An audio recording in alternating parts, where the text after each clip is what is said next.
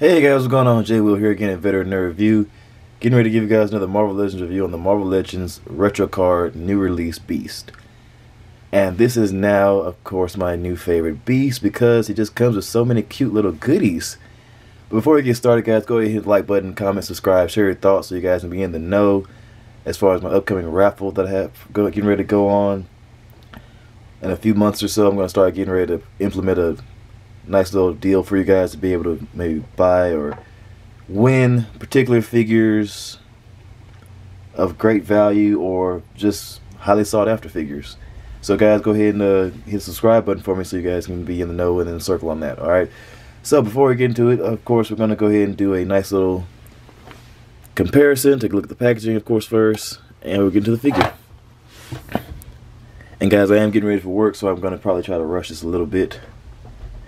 So, for the packaging, we do have a pretty standard uh, retro card here. We have the uh, old school style X-Men Beast look right there from the 90s cartoon.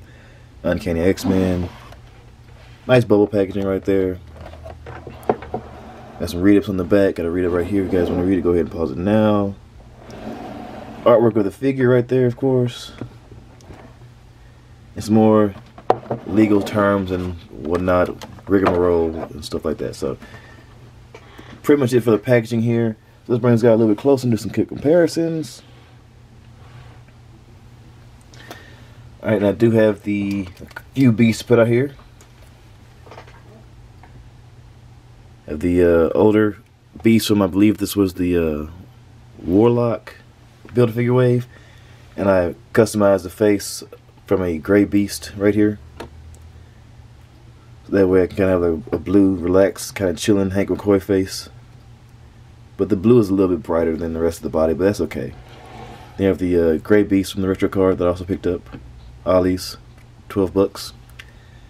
And then I also have Dark Beast. Let's bring these guys back just a little bit so I can try to see if I can squeeze these guys all in the same shot. Yeah. Man, quite the beast of a review, if I might add. Man, these guys look, all look very nice to me. So, gonna bring these guys back out. Oops. I do believe these guys are pretty much uh, the same figure exactly, just for like maybe a few shades off. Yeah, the shades of blue are a little bit different. I think a little bit like lighter on this blue on this beast, and this one, uh, this one right here has a little bit more shading as far as coloring in the fur. You can see in the feet there. Let's go ahead and take his jacket off. I love that it comes with a jacket. We need more soft goods, Hasbro.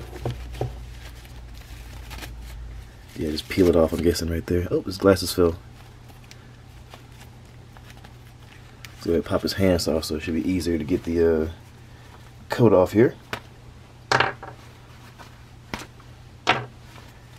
There we go, comes right off. Nice. Put his hands back on.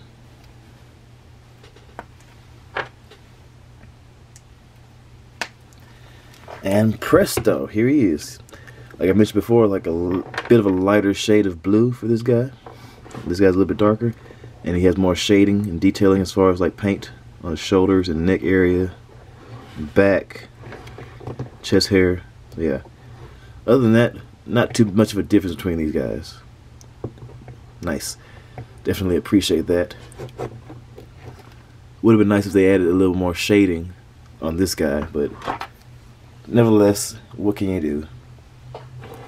So, let's go ahead and throw in a few more X-Men characters. We have the uh, VHS Cyclops I just did a review on. Awesome figure, my new favorite Cyclops.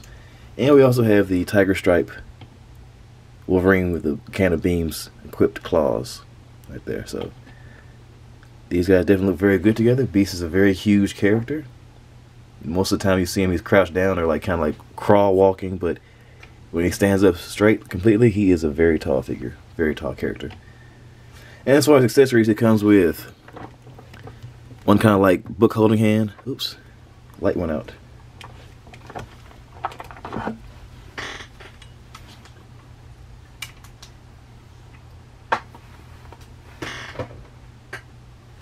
And so it comes with one book holding kind of claw hand right here for his book that he, well, he doesn't come with this book. This book comes with the Gray Beast, but you can, of course, equip the book right there in his hand for have him reading.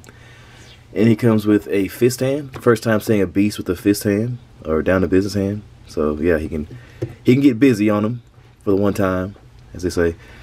And he has a palm hand for like laying on the uh, palming the ground or whatever as he crawls or walks along. And he has a vial holding hand, or kind of like a small grippy hand. Comes with two vials here. The one that's labeled X Gene, you guys can see that. And then one kind of obligatory green vial. So nice. And he also comes with a set of glasses, as well as one interchangeable roaring kind of head. So whenever he takes his smock off, he's uh, in a bad mood. But yeah, overall, not a bad figure.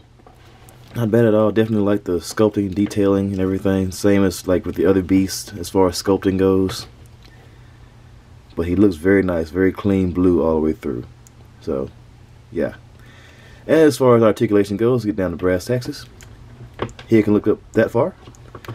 Looks down that far. Side to side motion. Little bit of pivot or tilt in the neck. So you get a little bit of motion out of there. Love they finally gave him a relaxed kind of face sculpt. Shoulders move out that far.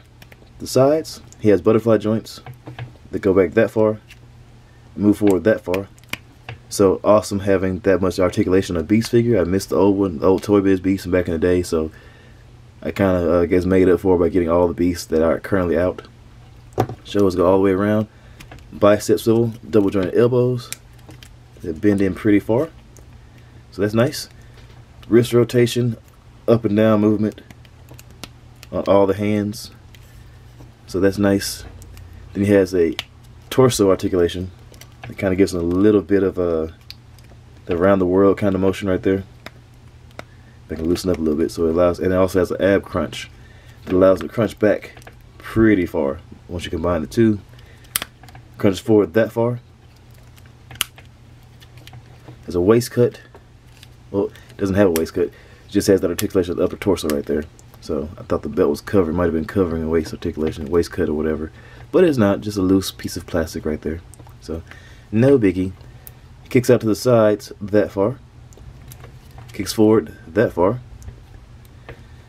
Kicks for backwards uh, pretty decently because he's on kind of like a bit of a wide joint, so it kind of wides out as he turns, or as his leg moves backwards. So it's pretty cool. He has an upper thigh cut. It's kind of tight on mine, of course, but it's there. As you guys can see, it's a thigh cut there. Just really tight. Then double jointed knees that allow him to bend in very far as Beast should be able to do. Then he has ankle pivot as well as up and down motion. And beautiful artic toe articulation right there. So, and of course they detailed it like, his toes a little bit more. They went ahead and added white claws versus the old one on the hands and feet. So, nice little note right there. Overall, pretty cool looking guy. Definitely very excited to have him. As far as him being my definitive beast now, I mean, I don't know. It's kind of between these two. As far as my beast display. So whichever one I kind of, I guess, whichever one I'm feeling like that day, that I want to display on my shelf, can it can really go either way. But I'm probably gonna have him displayed most of the time when he's relaxed or in his laboratory with his uh, lab coat on. So yeah, pretty cool figure. Like I said, guys, uh, hit the like button, comment, subscribe, share your thoughts, and I will be back with more reviews in the very, very near future. But uh, gotta get ready for work. Appreciate you guys for stopping by. Later.